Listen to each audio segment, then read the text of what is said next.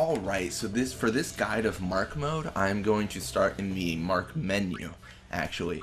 So what mark mode is, is you choose marks before the game begins, and normally you can do this for tech copies. But in this situation, we can choose marks as people we want to actually guard.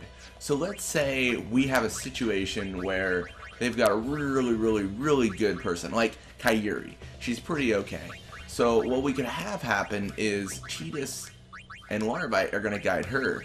Um, Ropp, I mean, we'll, he'll also guard her. Uh, and then let's say we have someone who's really fast. Like they've got Dado with 91 speed. We've got Nav Guado. We want Nav Guado on Dado. So here we can actually paint what we're going to do before we actually do it.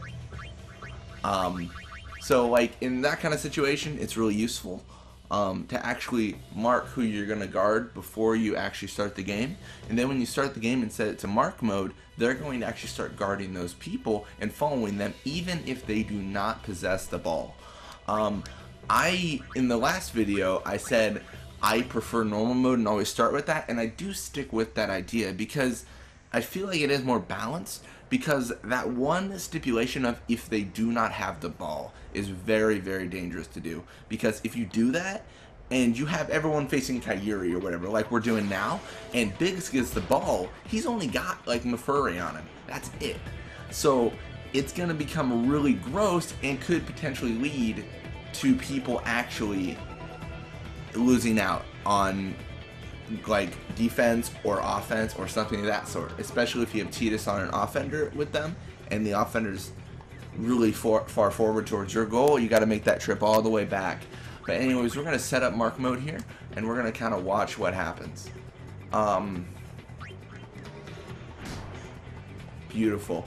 Uh, we actually do want them to have the ball because mark mode's more of a off. Uh, it's more of a defensive thing to show. So Biggs gets the ball the, look at this. They're not paying him any mind. Um, even now, you can see Tidus um, and Larbeight and Ropp are all going forwards. This makes it so that we cannot stop Biggs. He has too high of endurance. We cannot get the ball away from him. They're all going to chase him. As he as he passes to Dado, though, uh, you can see again Nav Guado is going to follow. He's going to pursue. No one else will but Nav Guado. And this is where it can be effective because as you can see here, uh, Nav Guado is fast enough to keep up with him. The only negative, again, is the endurance, so we can't get the ball away. But yeah, that is pretty much marker mode. Um, it can be effective, and I will actually show you that in another clip starting now. Alright, so I've reset the um, actual kind of scales here, and I'm going to show you how mark mode can be really effective.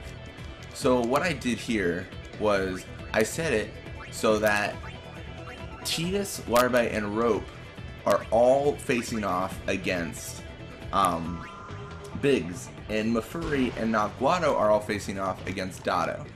So let's say you want to win an easy game and you want to just keep up the, the like pressure.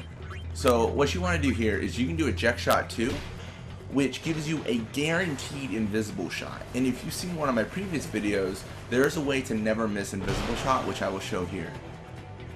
As it goes towards the goal, uh, it's going to activate. You want to bring it all the way to the left, and you will never miss. Guaranteed. So now you have one goal. Uh, what does that mean? It means the opponent starts with the ball.